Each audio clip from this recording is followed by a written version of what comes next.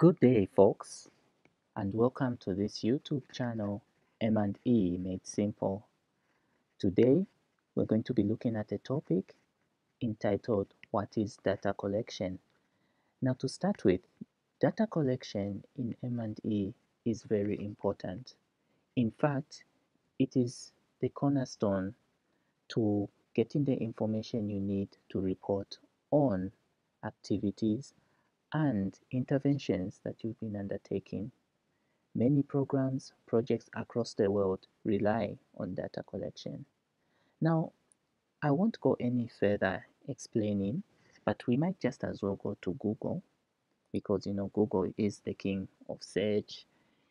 Google has compiled all the publications and all the viewpoints of PhD people, of learned people into one search box.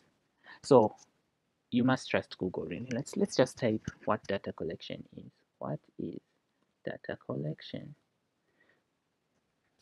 Let's hope we see a definition there. Yeah, maybe I can zoom it a bit. Is there any zoom? Okay, I must mention that sometimes me and computers we don't go hand in hand, but uh, I do get by. Let's see if I can zoom it a bit. Okay, yeah, zoomed it now. How do I make it seen? Sorry about this, folks. Sometimes computers and I just don't get along. Oh, I've lost it. Sorry about that. Okay, let me try to try it one more time. Uh, not working. Okay, we'll just read it from here. Data collection is the process of gathering and measuring information on variables of interest in an established systematic fashion that enables one to answer stated research question, test hypotheses, and evaluate outcomes. So you discover that actually data collection is the process of gathering information. You see, in every project and pro program, there are certain indicators that will tell you whether your intervention is progressing in the right direction. Let's take for instance, if you watched one of my videos, I did demonstrate a bit what a log frame is, but let's just go briefly and open and see what a log frame is. Okay, so there are those images and here is a log frame example. So as you can see,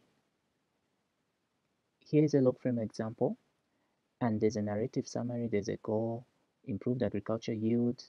Now, how do you know whether agriculture yield has improved? Well, you look at the indicator, indicators there. There's agriculture production. Okay, this is an indicator. Now, for you to capture agriculture product production, you need to collect this data. There's no two way about it. You need to go out there and collect this data.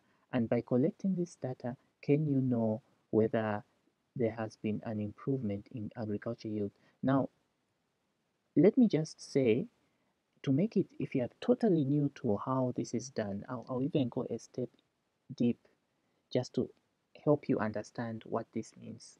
Okay, so let's say this is the log frame, and again we say this is, we are trying to improve agriculture yield in a commu community where you are promoting a program, and the indicator there is agriculture production increased, okay?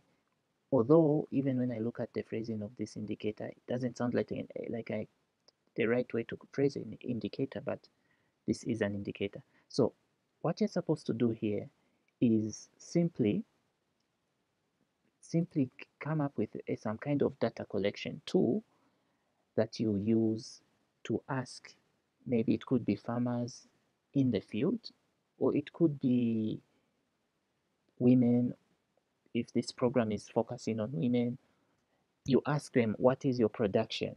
What is your annual production? And then you give them a questionnaire, some kind of paper where they can fill in their production details.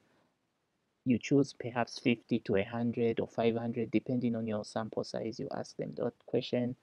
They'll feed in their production figure. That process of collecting that data from them, collecting the production figure from these participants, is what is data collection. Once you get that, you analyze it, and then you can you be able to say that agriculture yield has either improved or declined. However, when it comes to data collection, there are various ways to do this collection and in my next videos I'll be able to explain in detail how this is done and what methods are used to collect the data but in a nutshell this is what data collection involves. So that's all the time I had for you this day. My name has been coach Alexander. I hope you enjoyed this and see you on the other side